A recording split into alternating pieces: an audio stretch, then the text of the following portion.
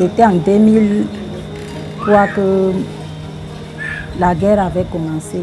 Mais en ce temps, c'était un peu passable vers le village. On restait encore au village. Mais en 2006, c'est le moment là que sont partis brûler tous les villages.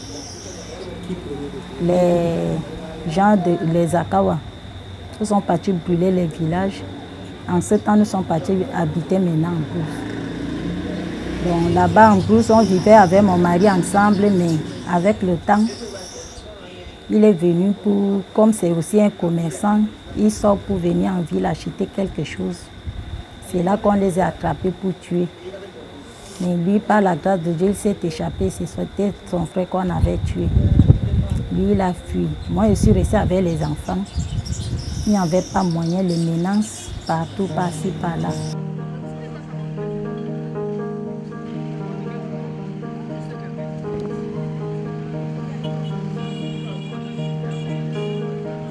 Nous sommes quittés en groupe comme ça, on a marché pendant deux semaines pour arriver en ville vers Pélé.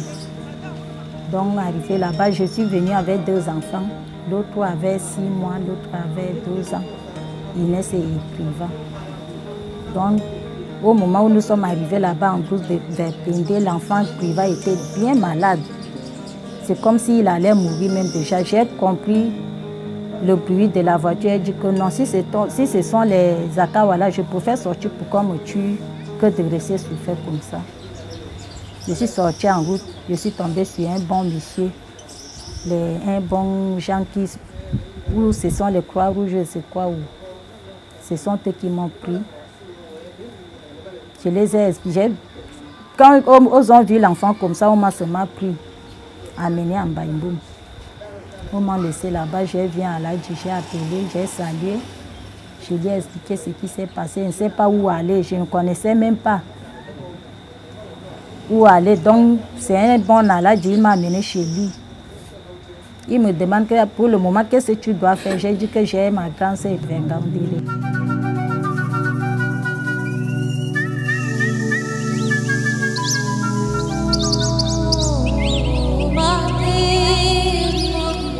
Arrivé à Yaoundé, je suis arrivée un dimanche, un dimanche matin, j'ai demandé là où les Centrafricains font la messe. Chance, on m'a guidée par la grâce de Dieu, on m'a guidée là-bas. Quand je suis arrivée, j'ai trouvé ma grande soeur à l'église. Et c'est comme ça que je suis arrivée. Elle m'a amenée à la maison.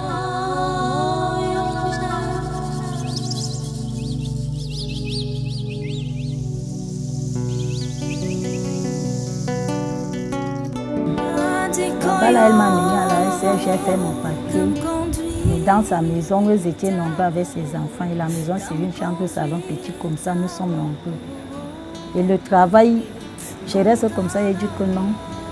Pour rester ensemble comme ça, il n'y a pas un bon travail. On se mélange comme ça avec la souffrance comme ça. Là, je ne peux pas ajouter encore la souffrance. Je préfère venir. Il y a une tante qui est ici, là. Je suis venue chez ma tante.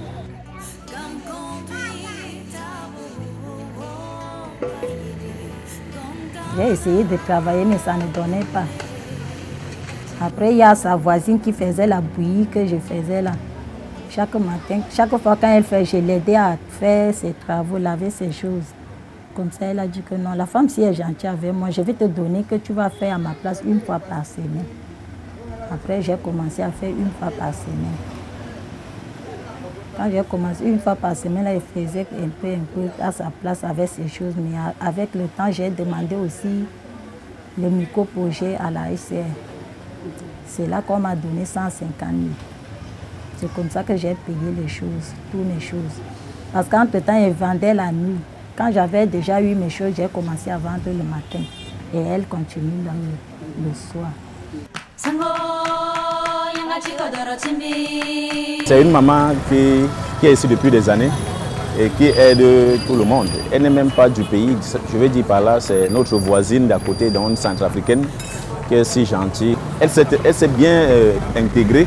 Elle a été bien accueillie par euh, la population. C'est une mère qui est connue depuis. On mange comme ça chez elle, comme ça, nous sommes à l'aise. Donc malgré que nous sommes venus du nord, mais nous sommes devenus tous les mêmes ici. Donc même ceux d'ici nous considèrent comme eux. Donc c'est une mère vraiment qui a sa place. Nés de même ventre enracinés dans une même terre. Tous les réfugiés qui affluent au Cameroun à cause des guerres civiles, à cause des, des problèmes sociaux, sont parfaitement intégrés. Mais il faudrait qu'on examine vraiment comment se fait l'intégration dans les quartiers, comment se fait l'intégration dans les familles, parce que les réfugiés qui arrivent ici ne vivent pas en vase clos. Parce qu'un réfugié qui arrive dans un pays donné est porteur des, préjudices sociaux, est porteur de violences. Il peut arriver que, que ce réfugié-là puisse transposer ces violences chez les autres. Donc c'est ces questions-là que nous, devons examiner sous le prisme de l'éducation du développement durable.